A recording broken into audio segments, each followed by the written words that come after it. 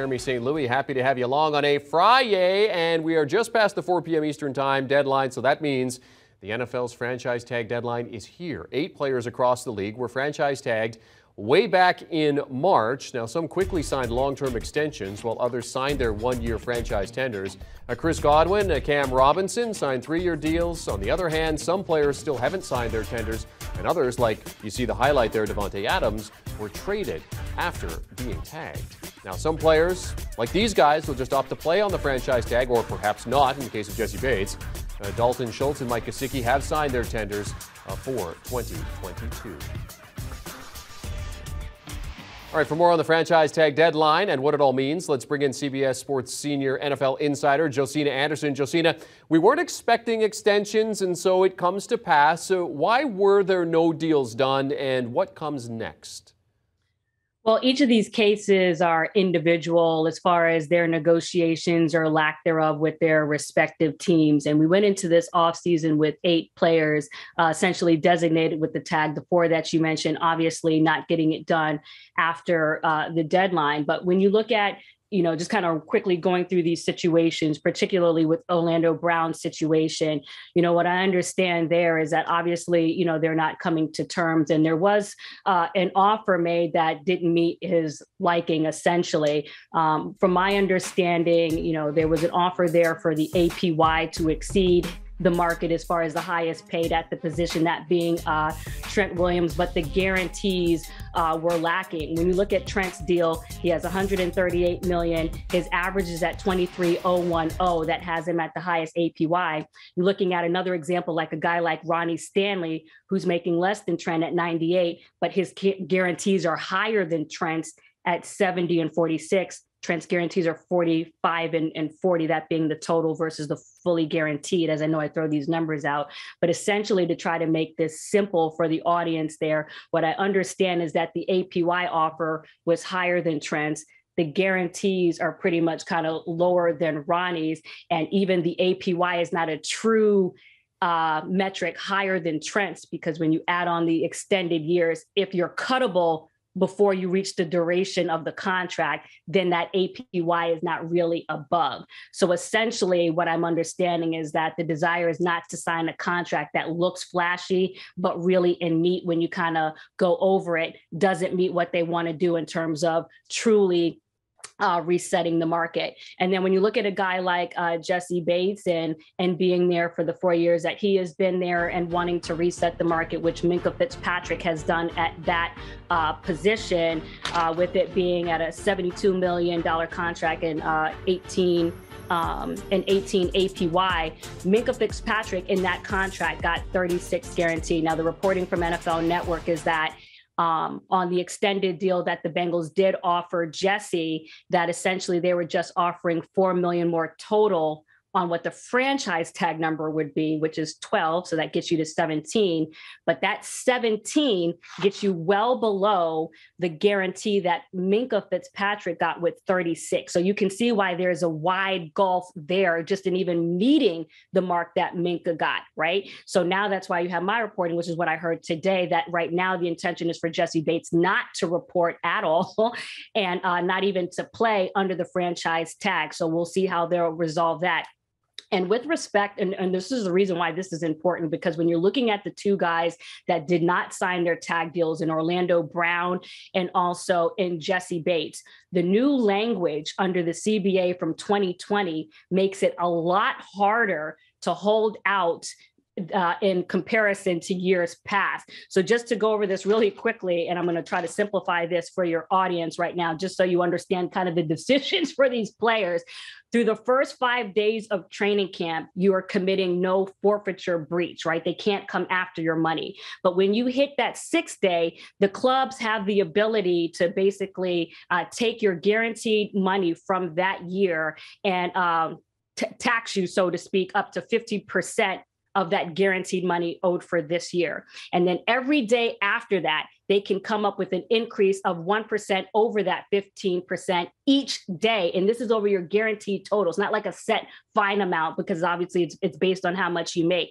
And that gets capped at 25%. So that is a large amount of money to be thinking about whether you really want to hold out. Because my reporting too is that Orlando Brown right now is weighing his options as to whether he wants to hold uh, hold out after not meeting uh, an agreement, you know, per this deadline today. And then lastly, just so your audience understands, when you get to the regular season, if you miss that first game, okay, they can they can go after another 25% on that 25%. And then if you go beyond four games, then you're subject to total forfeiture. So the box-in that these players have is way more significant, although collectively bargained, than in years past previously uh, to 2020. And then when you're looking at the other tight ends, and Dalton Schultz and and Mike uh, Gesicki. Um, you know, basically, you know, both of those players pretty much had career years, but they're not able to, you know, meet their numbers relative to what they were trying to reach. And both of them obviously are okay going forth without uh, consummating a long-term deal today.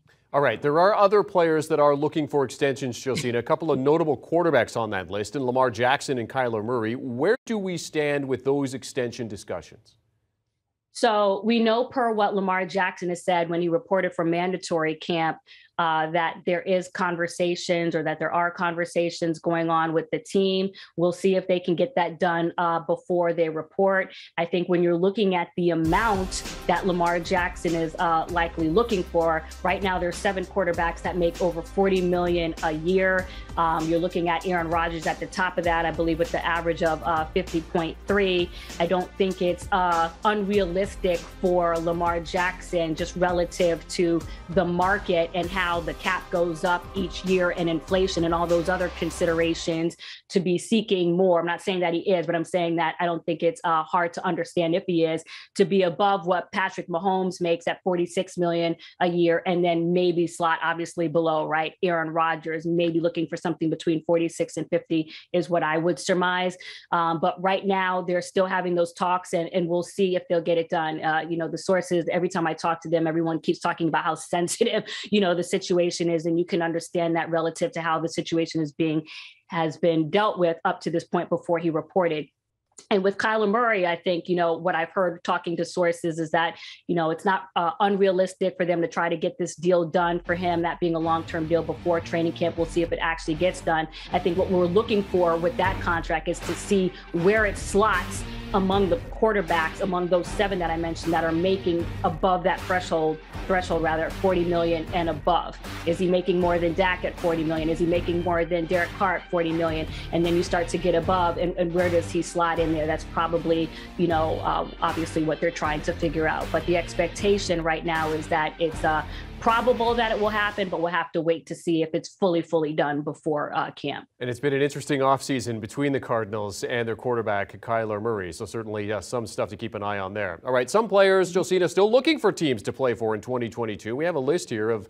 some of the notable free agents that are still on the market. Uh, what are you hearing about potential landing spots uh, for some of these players?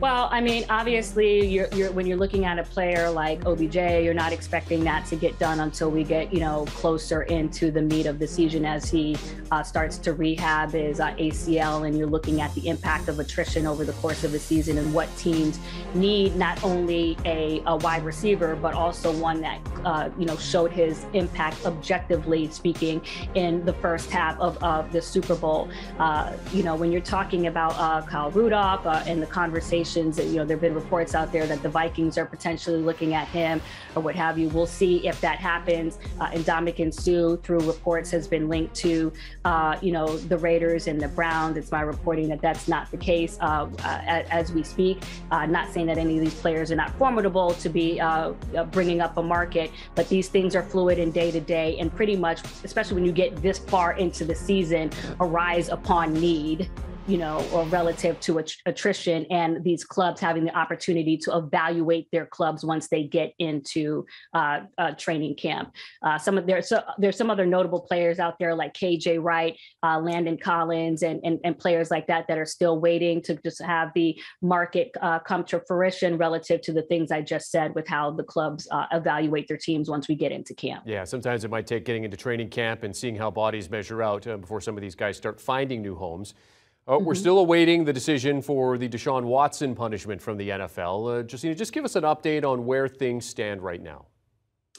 So right now, the jointly appointed arbitrator Sue Robinson um, has gotten the post-hearing briefs in uh, that were, uh, per the CBA, only supposed to be five pages, single space, and a lot of people have made a lot about that relative to the time they feel like it should take for her to come to a decision. But that's really where we are now, waiting for Sue Robinson to go over those post-hearing briefs, uh, come up with her decision, make a written decision, make it well-founded as to why she is coming up with that and then go from there. Obviously, people understand right now that if she, for some reason, determines that there has not uh, been a violation per the personal conduct policy, then uh, Roger Goodell nor any designee has the ability to change anything uh, after that. If she determines that there is a violation, obviously, then it kicks into uh, Roger Goodell's lap or his designee, um, with the interim being whether either side would like to pursue uh, an appeal relative to whatever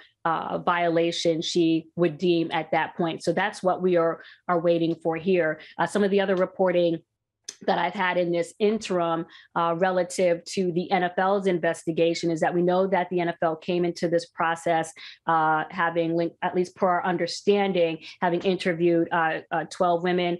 And then uh, from there, five women were a part of what they were focusing on uh, coming into this hearing. And then I have reported over the last few days that we know at issue right now, there are four women after one of those women, per our understanding, um, was their desire to have it included in the investigation from a, a, media report. And I had also heard that too. And I know Pro Football Talk put that out, out there as well. And so right now that has dwindled us from uh, five to four. And essentially, uh, just to include in that, lastly, when trying to deem if there is a violation, one of the things that also makes this very difficult so people understand out there is that the language in the personal conduct policy is is very uh, vague and very broad. And so, what that means is that it is subject to subjectivity relative to whether uh, Sue Robinson deems that Deshaun Watson has impacted the integrity of the shield, whether their uh, behavior can be deemed in any way as irresponsible. Now, where the complexity comes in is that also in that same personal conduct policy, it says that owners are to be held to a higher standard. And we can definitely definitely have a debate when you look at uh, some of the controversy that uh, Patriots owner Robert Kraft has been, uh, Daniel Snyder, what have you, whether that uh, metric of being held to a higher standard was met when it comes to owners, um, and whether there's been any disparate discipline given out to the players in comparison. And of course, there was the 30 lawsuits that were settled against the Houston Texans today, which uh, may factor into that as well. She is CBS Sports senior NFL insider Josina Anderson joining us to update us on the Deshaun Watson situation and discuss the franchise tag deadline, which passed in the NFL today. Thanks, Josina. Great to see you as always. Great work as usual. We are approaching 50 days away from the 2022 NFL season kicking off, 55 days uh, to be exact as of today. And we have everything covered for you here on CBS Sports HQ in the lead up to the season and when it gets underway. On CBS on September the 11th, you can also stream the games on Paramount Plus. Do you want a sports network that delivers everything that matters about the game? The highlights, the picks, the instant analysis, no yelling, no fake debates, no politics. Hit the subscribe button and never miss a moment.